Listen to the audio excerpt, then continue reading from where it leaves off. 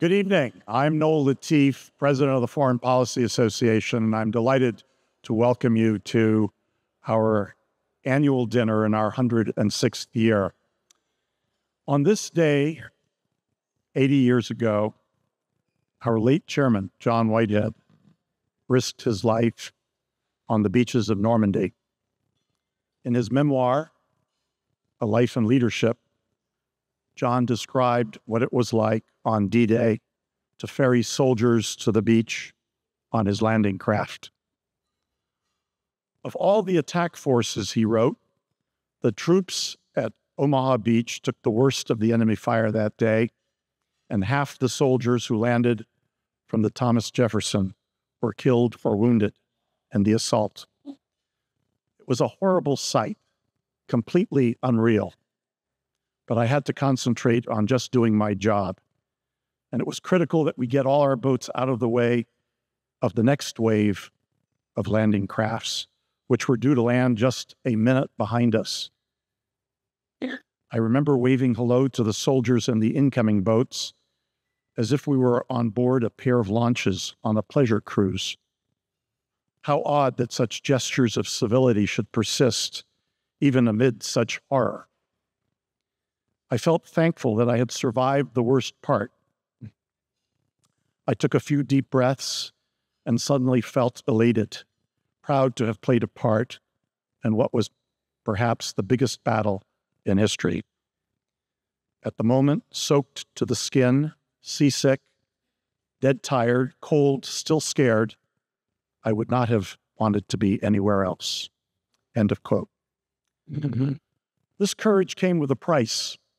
I saw it firsthand with my father, who had recurring nightmares throughout his life from his service in the U.S. Army during the Second World War. It is the courage to continue that counts, said Winston Churchill.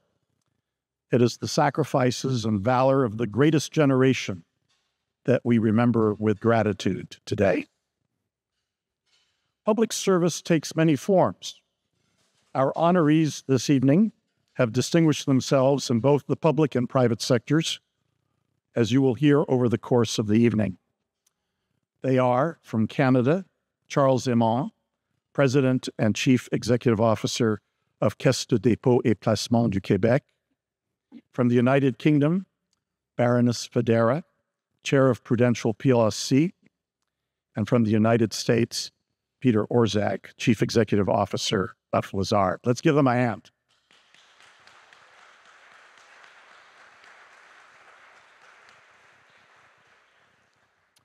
Peter will be introduced by former Treasury Secretary Bob Rubin, a, a great public servant who couldn't be with us physically today because he came down with COVID.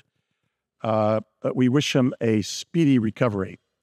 Secretary Rubin delivered a speech nearly 30 years ago at the New York Economic Club that has stayed with me all these years.